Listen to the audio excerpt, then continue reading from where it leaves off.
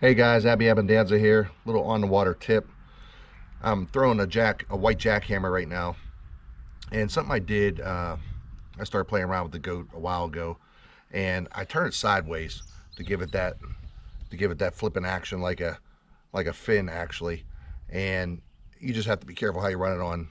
You know, you want to get it straight up and down as much as possible. Just put it on like you do any other time. If you run it flat, as you know, it tends to rise a little bit and if I'm running a little bit deeper, there's a little bit deeper grass, what I'll do is I'll, I'll put this thing sideways, and that way it lets me run a little bit deeper and keep it there. And it stays in that water column, doesn't rise. So, little on the water tip, Z-Man, jackhammer, the goat.